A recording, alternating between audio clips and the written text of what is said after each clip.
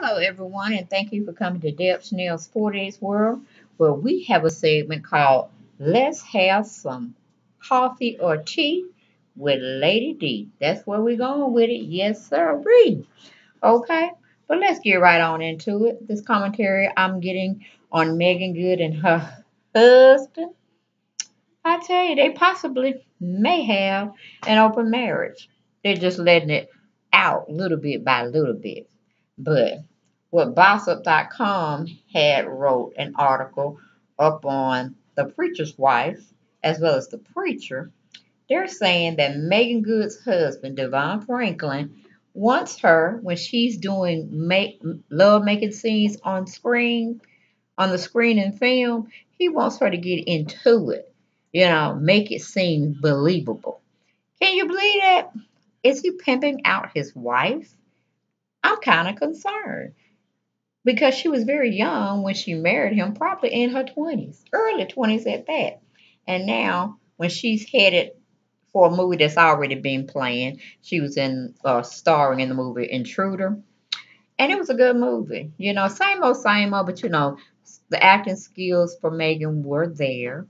Uh, and the other actress in the movie was pretty good too, especially her leading man. I wanted him to wake up real soon, but you know, he got the picture that sometimes you just gotta, you know, put them hands on folks sometime when they just not understanding no. And you know, showed them verbally everything, you know, the consequences being talked about if they continue to do the negative acts that they're doing. But anyway, reading the commentary on what Bossip.com wrote on Megan uh, responding to what her husband had said to her verbally, okay, on what to do in her love making scenes with her co star actor. It says Meagan Good talks the intruder sex scenes. Meagan Good's marriage to preacher husband Devon Franklin may not be as consecrated as some may think. Okay? Yes. Meaning monogamy. Okay? True to your vows. Only dealing with one person at a time.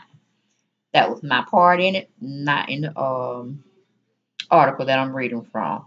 But it, you know, where I stopped off, off stopped off of Devon Franklin may not be as consecrated as some may think. Earlier this week, the intruder star stopped by D.L. Hughley's show, uh, you know, the comedian D.L. Hughley, uh, to talk about her new blockbuster thriller and wound up dishing on how her husband really feels about her steamy sex scenes. Good reveal. I I will call him and be like, babe, I'm just about to do this sex scene. And he's just be like, okay, you know, like, all right, you know, do what you got to do to make that bread. And that's me, not in the commentary. So I'll read it again. I'll call him and be like, babe, that's Meagan Good's calling her husband, talking about the filming and what's about to take place. She's saying, I'm about to do this scene, this sex scene. And he will be just be like, okay, well, just make it look real. Again, he said, okay, well, just make it look real. Instead of him just saying, okay, you know, keep it clean. You know what I'm saying? You are married to me and you are a preacher's wife. You know, holy, you know, we, we held at a higher standard now. That's what he should have been telling her. But anyway, he's saying, make it ring. Like, you know, uh, make it seem real. Like he's saying, make it rain at strip club. Okay? Like, really? Is that where we're going to, today with these newfound preachers spreading the word of the Lord? Mm-mm. Bible recheck. He might need to be disassociated with the church for a minute so he could take a sabbatical and think about what he told his wife and probably what he's telling his congregation. Who knows? Not in the article, just my spiel. Okay, we go back to, he said, we'll just make it look real because you want the audience to care about you and the relationship. That's what's going to drive the movie. So just get into it. He wasn't looking to change me in marriage, is what she said. He knows who I was before marriage. So there is growth that happens individually and collectively. The actress added that although her husband may be cool with a lot of things, she can't say the same for other church folks. Well, yeah, because we're going to have an opinion. If you're going to be a first lady, you need to conduct yourself like a first lady. When it comes to the attire that you wear, and Lord knows you got some sketchy kind of attire on in my videos because I'm showing you pictures of some sexy, some seductive type clothing that a preacher's wife or first lady should not be wearing. Cover thy body, okay? Sometimes you have to cover thy hair in some people's religion, but it just is what it is. I mean, come on. Leave imagine leave imagination to your husband and possibly other men, but they know they can't step to you because you are married and you're a child of God, okay? But I'm not getting this. That's my commentary, not in there.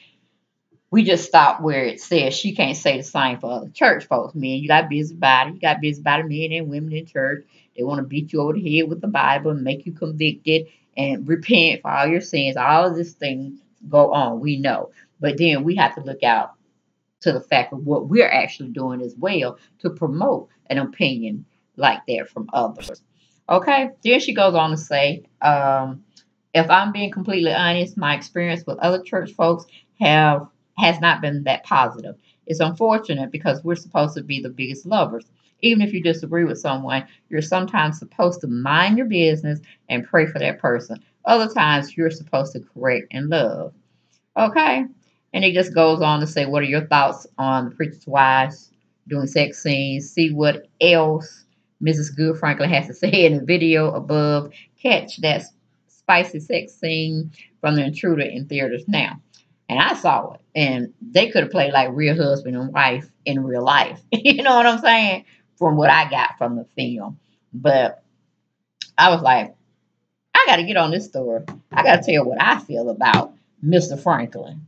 Pastor Franklin telling his wife to make it believable. I mean, what she had to do, strip off, off her whole clothes? I mean, they had it decent enough, or how they were hunching and, and doing all this sexual feeling and all of that. They kept it tasteful. But it seemed to me that Meagan's Good's husband and fellow um, parishioner, I mean pastor, uh, was saying a little bit like, get that money, honey, get that money, get that money, get that money, honey. I'm gonna pimp you out, I'm gonna pimp you out until we get over, till we get over. I'm like, really? It's like a, he, his, he's wanting his wife to be a shaker booty uh, club type dancer. He wants her to go out there and sell sex, you know, and it shows in some of her attire that she do wear that's not fitting for a first lady. Is something you just don't do. Cover your body, Meagan, cover your body. But my only opinion, if you if you would have asked me, Meagan, if you would have came over to this channel, you know, cup of tea or coffee with Lady D, I would have told you, you and your husband need to go to counseling.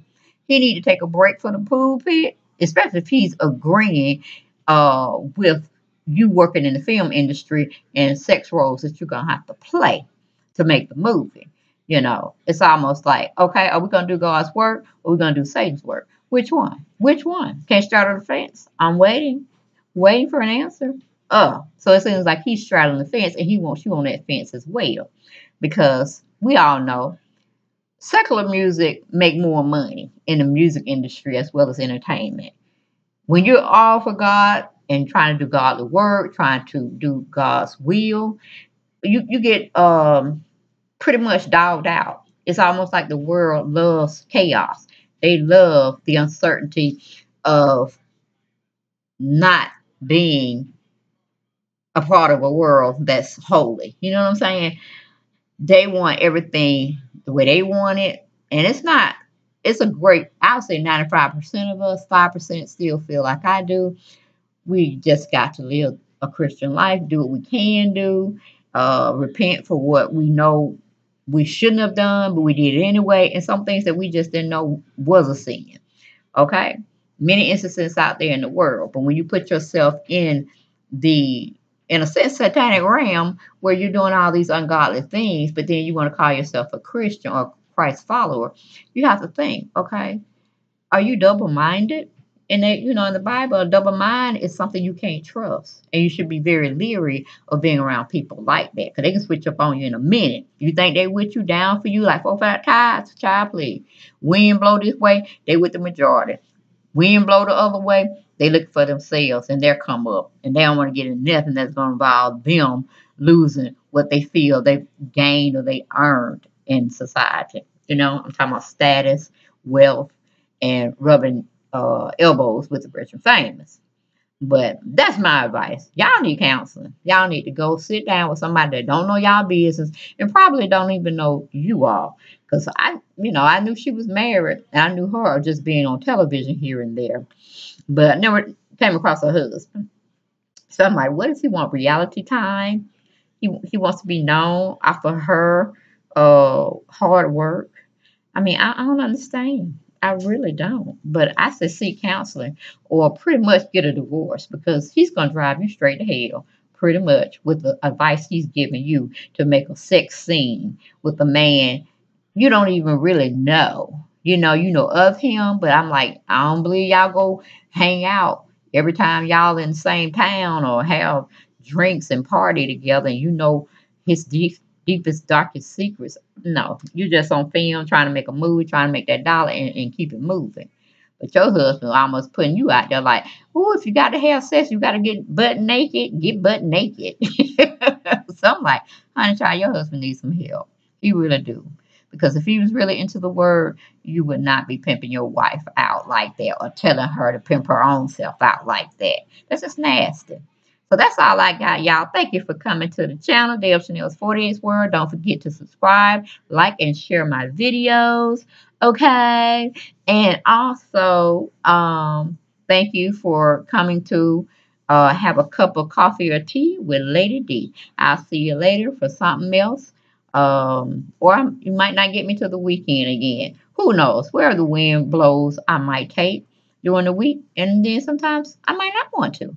But thank you for coming to my channel and giving me the time of day. Uh, hopefully it was interesting and you enjoyed the video. Blessings. Bye-bye.